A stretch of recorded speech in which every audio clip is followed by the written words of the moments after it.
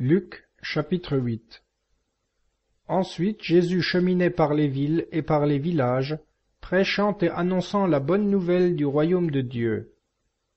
Les douze étaient avec lui, ainsi que quelques femmes qui avaient été guéries d'esprits malins et de maladies.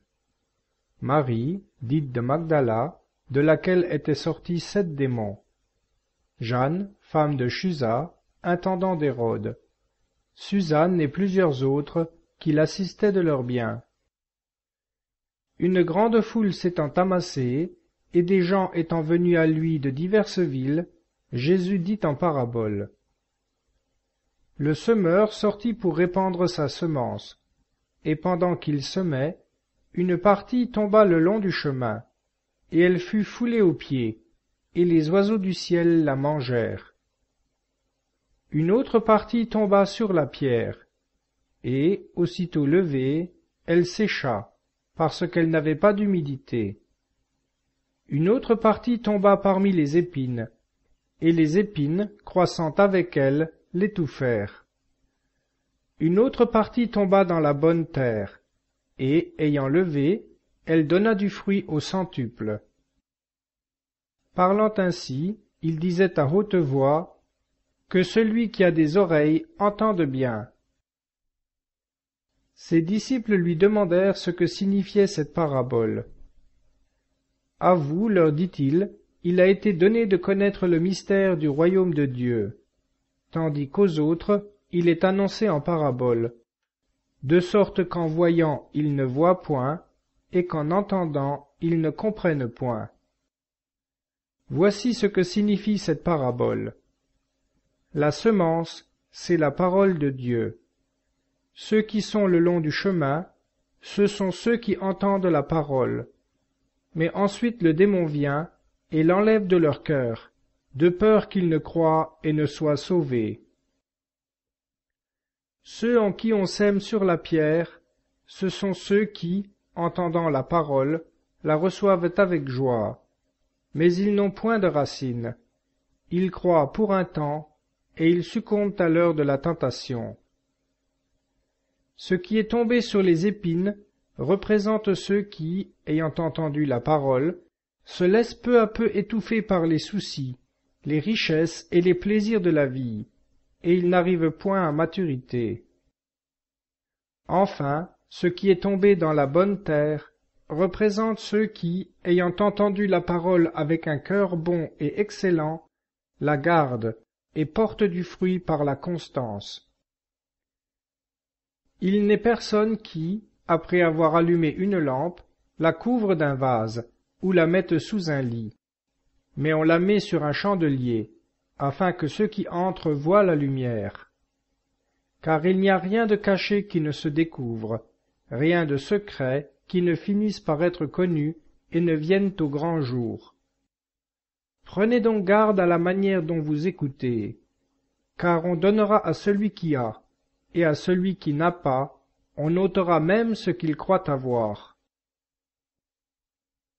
La mère et les frères de Jésus vinrent le trouver, mais ils ne purent pénétrer jusqu'à lui à cause de la foule. On vint lui dire, Votre mère et vos frères sont là dehors, et ils désirent vous voir. Il leur répondit, Ma mère et mes frères sont ceux qui écoutent la parole de Dieu et qui la mettent en pratique. Un jour, il arriva que Jésus monta dans une barque avec ses disciples et leur dit Passons de l'autre côté du lac. Et ils se mirent en mer. Pendant qu'ils naviguaient, il s'endormit.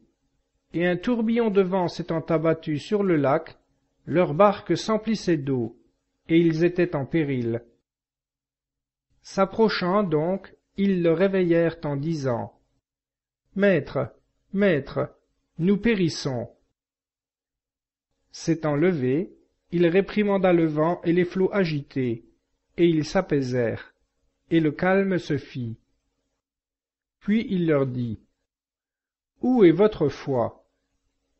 Saisis de crainte et d'étonnement, ils se disaient les uns aux autres Quel est donc celui-ci qui commande au vent et à la mer, et ils lui obéissent.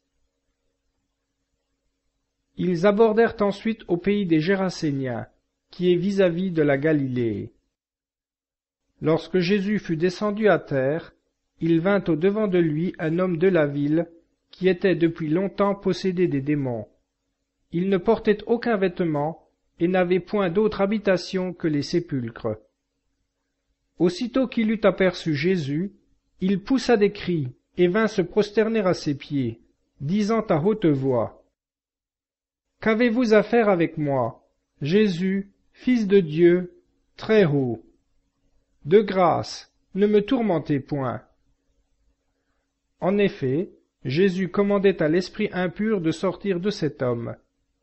Bien des fois en effet l'esprit s'en était emparé, et quoiqu'on le gardât lié de chaînes et de fer aux pieds, il rompait ses liens, et le démon le chassait dans les lieux déserts.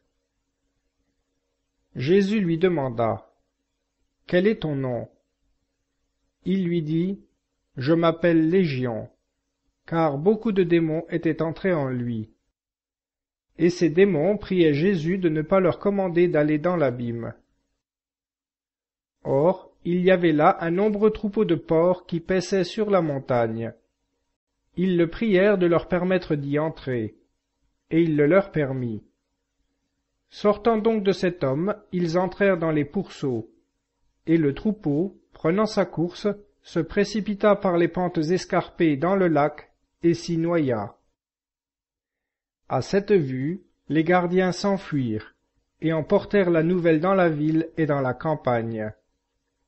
Les habitants sortirent pour voir ce qui était arrivé. Ils vinrent à Jésus, et trouvèrent l'homme de qui les démons étaient sortis, assis à ses pieds, vêtu et saint d'esprit, et ils furent remplis de frayeur. Ceux qui en avaient été témoins leur racontèrent aussi comment le démoniaque avait été délivré. Alors tous les habitants du pays des Gérasséniens le prièrent de s'éloigner d'eux, parce qu'ils étaient saisis d'une grande crainte. Jésus monta donc dans la barque pour s'en retourner. Or, l'homme de qui les démons étaient sortis le priait de l'admettre à sa suite. Mais Jésus le renvoya en disant, Retourne dans ta maison, et raconte tout ce que Dieu a fait pour toi. Et il s'en alla et publia par toute la ville ce que Jésus avait fait pour lui. Jésus, à son retour, fut accueilli par le peuple, car tous l'attendaient. Et voilà qu'un homme appelé Jaïr, lequel était chef de la synagogue, vint se jeter aux pieds de Jésus, le priant d'entrer dans sa maison, parce qu'il avait une fille unique, d'environ douze ans, qui se mourait.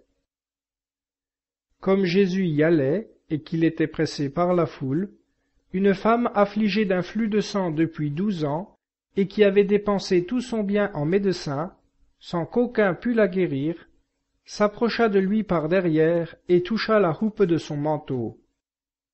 À l'instant, son flux de sang s'arrêta.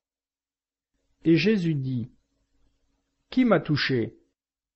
Tous s'en défendant, Pierre et ceux qui étaient avec lui dirent, Maître, la foule vous entoure et vous presse, et vous demandez, Qui m'a touché?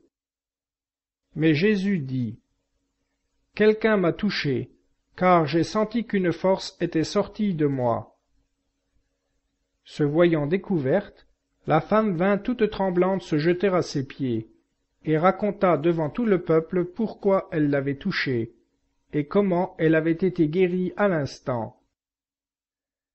Et Jésus lui dit, Ma fille, ta foi t'a sauvée, vas en paix. Comme il parlait encore, quelqu'un de chez le chef de la synagogue vint lui dire Ta fille est morte, ne fatigue pas le maître. Jésus, ayant entendu cette parole, répondit au Père Ne crains pas, crois seulement, et elle sera sauvée.